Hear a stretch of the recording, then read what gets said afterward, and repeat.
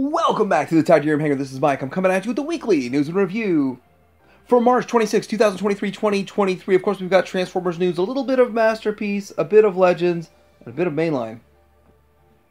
There's been a lot of stuff this past week, technically, this past week going on with Masters Universe. I made a whole video about it, but I've got a couple of things that, well, information that wasn't available at the time that we will talk about. There's pre orders up for yet another Gargoyle. We'll talk about that. Ramen Toy's been very busy with a lot of fun pictures. We'll take a look at a few. And there are three things going on in Star Wars this week, so we'll talk about all of them coming up.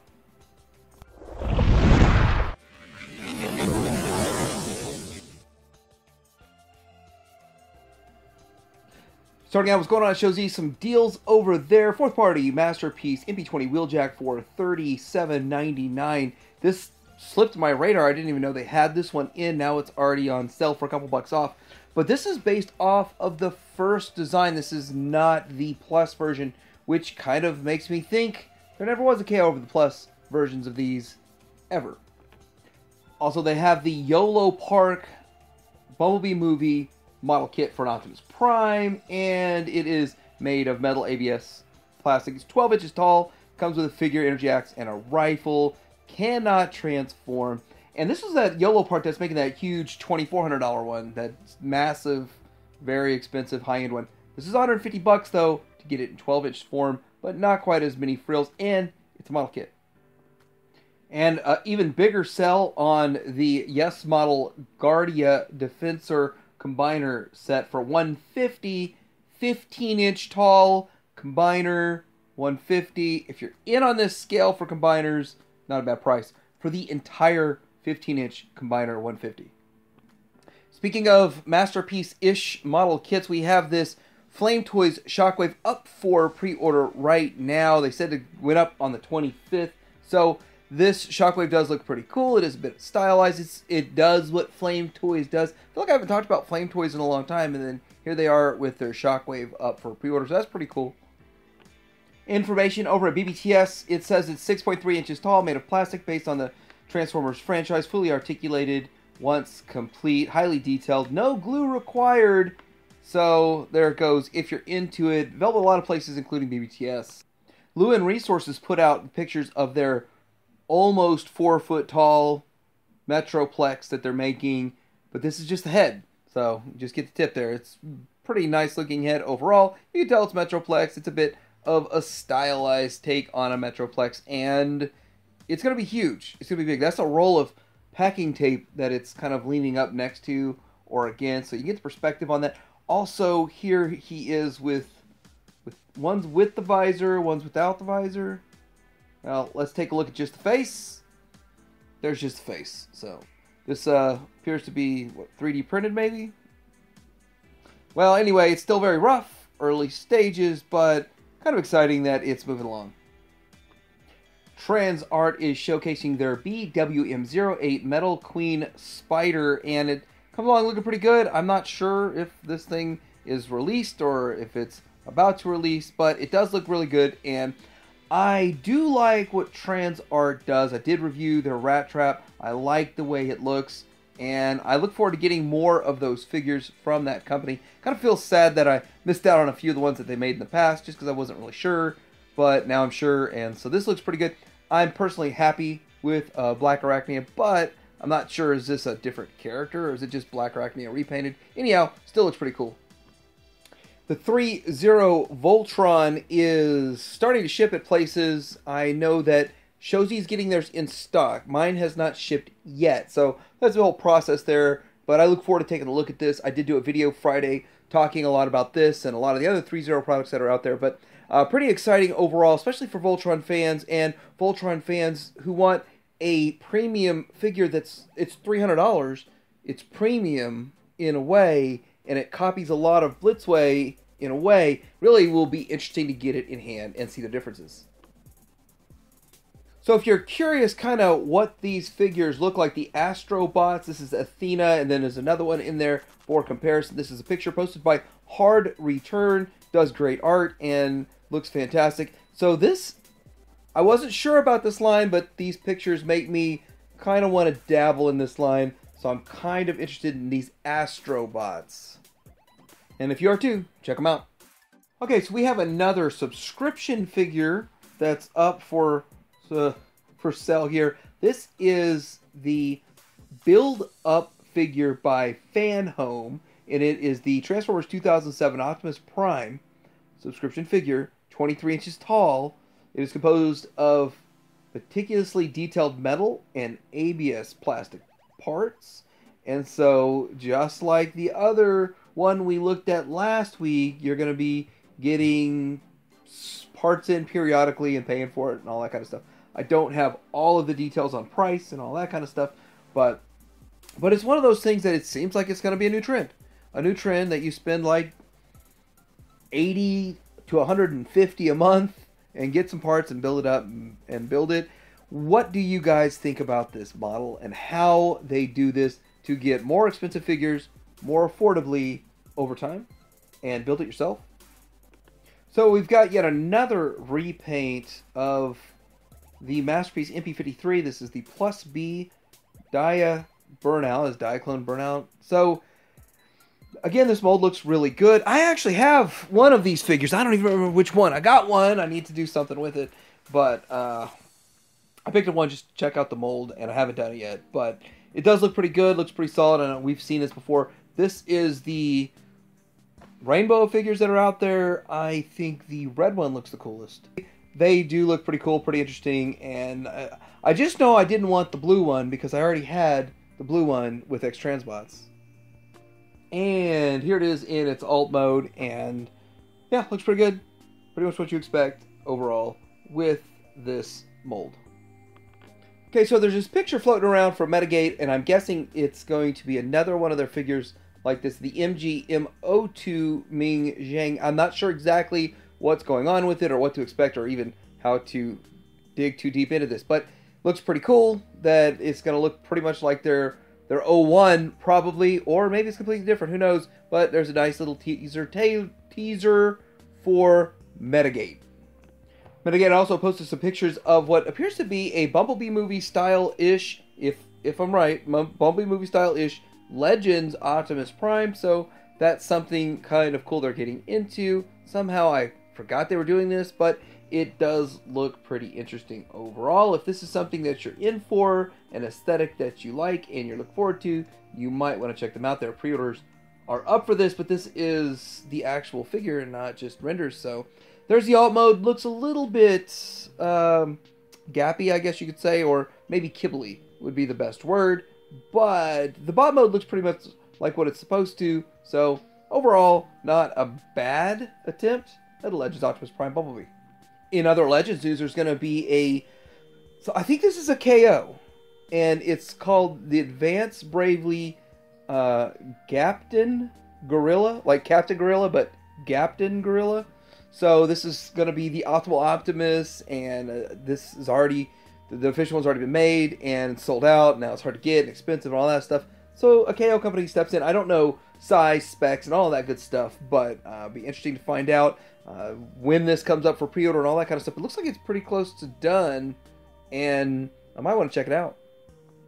Currently, I think the only place showing it for sale is the Taobao store. I'm a little nervous ordering from Taobao. I just never have.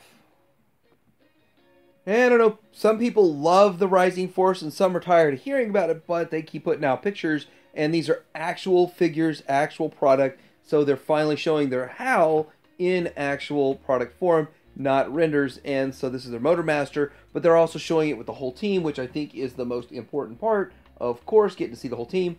So uh, they're, they're looking okay, not not bad in my opinion. It looks like a definite solid option, and I think they did an even better job in the alt mode. So alt modes look pretty good too, and it's really important they look good in alt mode because alt mode equals combined mode, if you know what I mean. So so it's going to be a pretty solid set, I hope.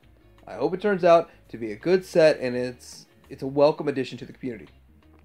So Iron Factory showing pictures of their IF EX65 Resolute Defender. This is Brawn, and I, am just going to say, I think that a lot of their designs are looking more G1-esque and less stylized. This is still stylized, by the way, still going along with what they've done, but it just I got the feeling back when they made their power glide that they were starting to shift a little bit, but maybe that's just me. Anyhow, there's the bot mode. Here's the alt mode, which looks again even more like they're shifting closer to G1 and less stylized. But that might not be the case. It might just be wishful thinking on my behalf.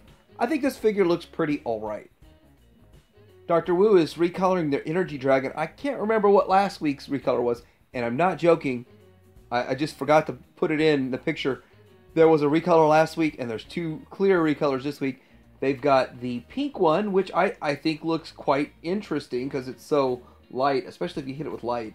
And then there's a blue one. So you got the boy dragon and girl dragon in clear, in clear uh, form, and so that's kind of fun. If you light that up, hit it with light, it'd be pretty cool. And just for fun, let's see what the clear base mode looks like. And that's what the clear base mode looks like. I think it's interesting. I do, you know, I do like translucent 80s toys like the Tron figures, like Crystar. More of that to come. Magic Square is showing off their gold repaint of their intelligence officer for the Golden Lagoon, and his Bumblebee right here looks pretty cool. Bumblebee is in his alt mode there and his bot mode there. So I think it's a pretty solid figure overall, and I like what they did with Bumblebee and Cliffjumper, and now getting it in gold. I don't know if I'm going that far, but I think it will be good to have an entire cast and crew in Golden Lagoon. Be kind of cool. Oh, back to Doctor Wu again. Okay, so they've got their cone heads with uh, pro- propel Elegy, and Turbo. Is that how I say all that? Anyhow, these are tiny. This isn't even Legends. I'm putting it in Legends. It's not even supposed to be Legends. It's Sub Legends. It's. I wonder if these are so small that they. No, they're not that small. Fit in with the MP57 Skyfire figures or the X Transbots Jansen figures, those little mini figs that came with them. I think they're still bigger than that, but they still look pretty good for how microscopic they are. They look really good. And here's the alt mode as you all know these cone heads all have slightly different varying alt modes. There's no picture of all three. We're just going to look at this one and, and move on. There's a lot to look at. Okay, getting into some mainline news. Hasbro has announced or shown images of this Transformers Legacy, Evolution, War, Dawn, Dion, and Ariel. Dion, Dion, however you want to say it. I do want to say that uh, Rodimus Primal, the on YouTube, he actually put this figure out in the front of everyone, this character more or less, with this video talking about who is Dion. And it's pretty interesting video right there, and I kind of really enjoyed uh, all that history on that. But with this, this uh, is an interesting repaint, I would have to say, of Kup and Arcee, and Kup in a different version of Arcee. But they do look pretty good and a pretty good reuse of the mold. Here's the alt mode, so you can see what's going on right there. And so that looks interesting nice motorcycle we have going on, and of course the Kup mold. This mold has been reused quite a few times for for this. And didn't they get a movie version, then Orion Pax? Now we're getting a Dion out of this, so pretty interesting, pretty cool. And we also get to see the packaging. I'm not really sure I'm in on this so much, but that Orion Pax and the Alpha Trion 2 pack, that was a really good set. This seems to be right up that same alley. So this is a fan exclusive Optimus Prime. You get a first look at it. It is a repaint of the Holiday Prime. So this is a case of you get the variant first in the Holiday Prime, and this is what it should have been, which is we were all trying to guess which figure did they remold, and it was a pre-mold, more or less, a pre-recolor. And so there it is. Looks pretty cool. Looks pretty good. That trailer looks pretty good too. So overall, uh, is that a reuse of the Earthrise trailer? I mean, I'm not sure but we'll probably find out eventually. Looks overall pretty good if you're in on this. So we got pictures of Rise of the Beast Alliance Combiners 3 packs. Anyhow, these are kind of kitty toys.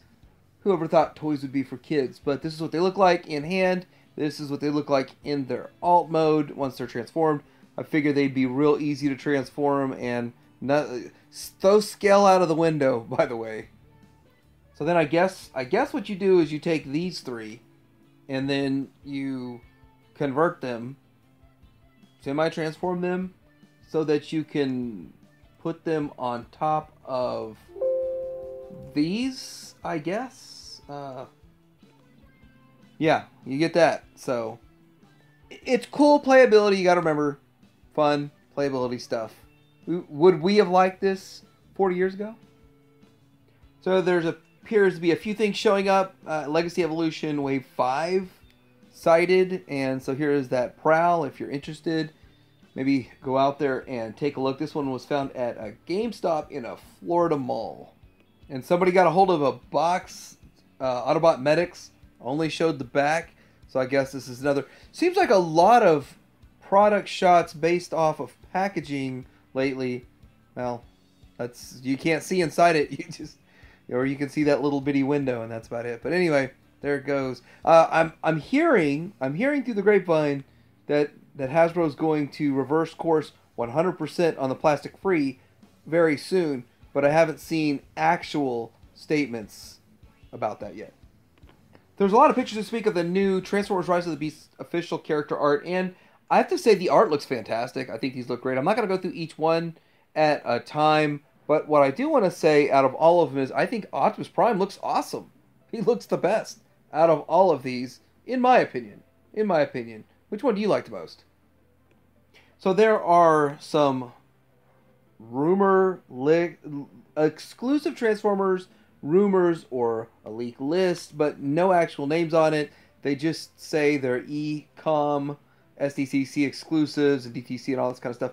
And there's an Amazon exclusive. But what really gets me this is a Voyager scale nacelle, which nacelle's actually a toy company. I don't know if it's related to that. They're a media and a toy company and all that kind of stuff.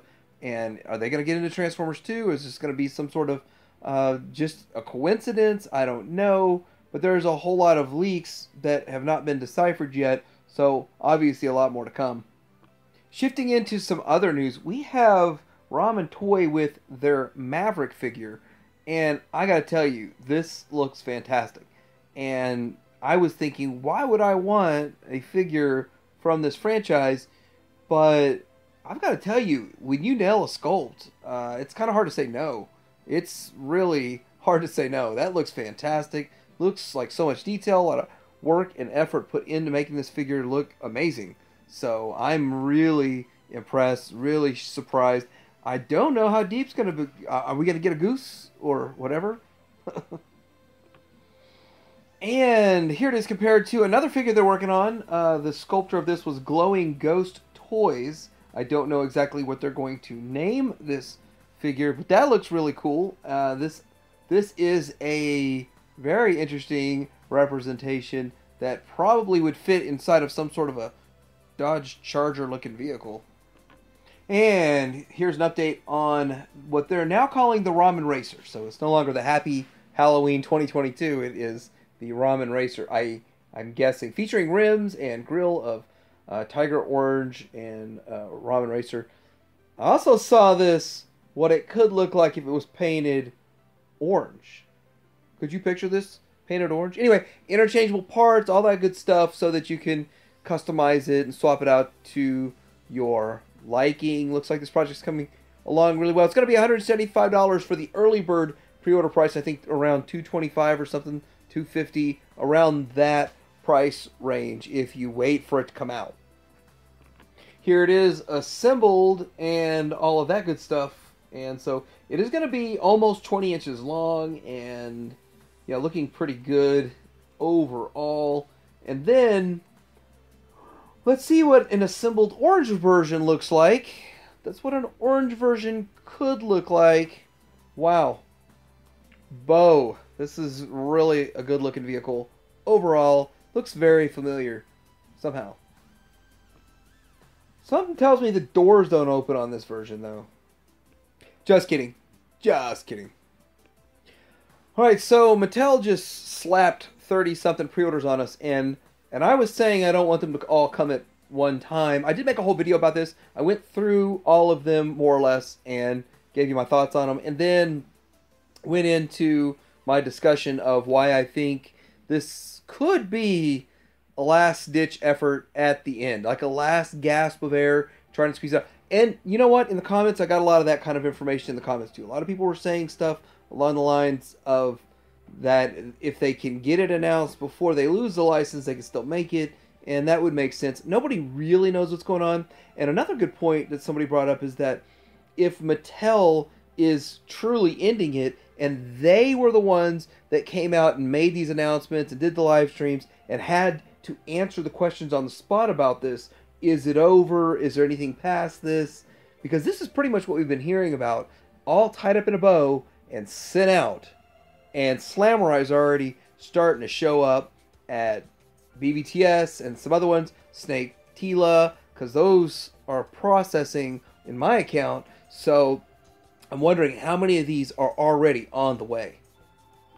We did get some pictures of Dragon Blaster, Skeletor, and Snakeface carded, meaning that these are in the works. These are on the way. These are not like way, way far out. Although they spread it out, they call this the fall calendar and all this kind of stuff. This stuff is on its way. So it may come before fall, may come way earlier, get real expensive. But then I start to wonder is this last wave, last wave syndrome where they're produced in small quantities, or is this going to be a blitz of stuff that we see on clearance for the next two years? Who knows? Who knows? I pre ordered one of everything, a few of the Slamurai's, and then if I can find another one on clearance to open down the road, I'll do that.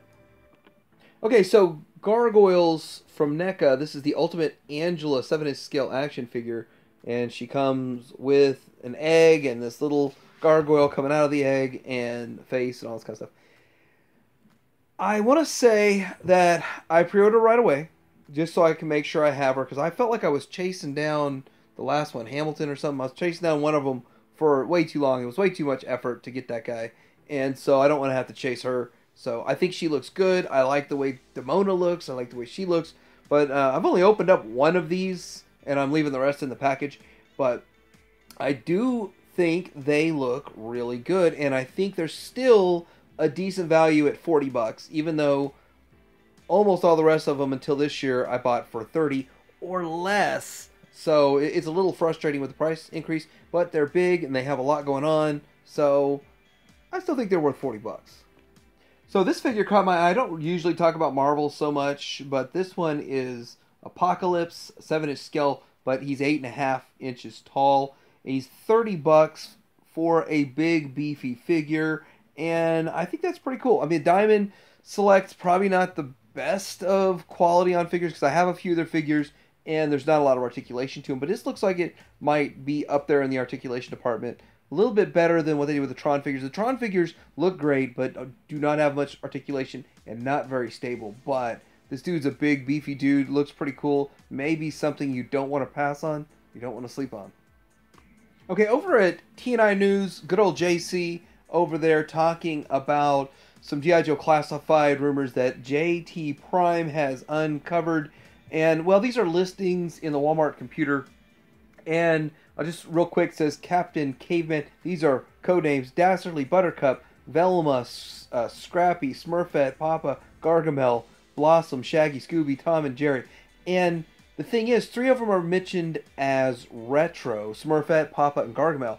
And I'm wondering, does this mean we're getting three more retros, or is that just three of the retros we haven't gotten yet, uh, that haven't appeared yet? I don't know. I don't know anything about all that, but it's always fun to know there's stuff on the way, stuff coming down the pipeline. But this could be stuff that hasn't been announced yet, or this could be stuff we've already heard about. Okay, so we've got some issues with uh, Funko basically gutting Mando. They are literally Mondo, Mondo, Mando, Mondo. They're gutting the Mondo toys. These are the ones that make these 12 inch, you know, 300 $300, $275 um, Motu, He Man, uh, She-Ra. They got a $500 Battle Cat on the way. Uh, they've got uh, Trap Jaw. So they've got a lot of stuff going on right now, but they're basically gut gutting it. They're getting rid of the poster division. They're laying off people. And the thing is, is that Funko itself's in trouble, and I think the bubble has burst on the pops. The bubble has popped on the pops. That's the way it looks with every pop that I've bumped into in the past two weeks has been on clearance. So I haven't bumped into a new one that's full price at all. And so that's kind of scary for Funko. And I don't want to see anything bad happen to Funko. And I definitely don't want to see anything bad happen to Mondo. Now, I first heard about this from Mad Hatter Toys review, Mad Hatter's reviews, and he's the one that went deep into this because he is kind of a Funko guy and he's into the Motu and all that kind of stuff. Deep into the Motu. And I have to say that Funko itself could be a great toy company if they wanted to, but they didn't. And I think that they've limited their options, and now they're cutting their options to almost nothing by gutting the most profitable branch that they've got. Anyway, uh, really sucks. I it makes me think Funko might not make it another year. Okay, so we've got some pre-orders up for uh, Luke Skywalker and Grogu, and this this thing is I, I, what's the price on this? This is ridiculously expensive. Uh, this figure here, this two pack, it's forty five bucks for a twenty three dollar figure and a ten dollar figure, and a couple of accessories to make it forty five bucks. So that's crazy, but yeah, that's something else. But anyhow, uh, I just got the Ned nine or whatever they want thirty something dollars for that, and I picked that thing up for I think thirteen dollars. Ahsoka's thirteen dollars right now. All of this stuff is going on clearance. I, I literally passed on all of the Black Series and only pick it up on clearance unless I did buy the retro carded stuff for full price, twenty five, because that's what I want. But for this stuff that I, I don't want, if I see it for thirteen, I buy it for thirteen. Forty five, I leave it alone. Cad Bane in the is this the vintage collection here? This looks pretty good overall. I like this. Uh, I've I've always thought this was a pretty interesting character, and now this is the one that was from the Book of Boba Fett, and he seems to be like a little older version of Cad Bane, more or less. But I do think this is a pretty good figure, pretty good character. I know the Black Series one is still a hard one to get, even though it was reissued. So Mafex is making a Bo-Katan Kryze by Medicom. This is from The Mandalorian, and this is for people who are really deep into the Mandalorian or the Star Wars realm, and they they're not happy with the twenty three dollar one that was put out by Hasbro, and they want something more higher end and more accessories and maybe more posability and stuff, more high end. This thing is $100. If you somehow get it through an an overseas price of $91 transfer transferred over all the stuff from yen to US, but US retailers are going to charge 120. So this goes into price versus value, which is an entire video discussion that I really need to make because I can prove that some people feel like this is worth well over $100 while others do not. But that's a large discussion to be had. Well, so I guess that's it for now. I'm curious what else is going on out there that you guys are seeing. What did I miss in the news? Like and subscribe. Teddy Mayor out.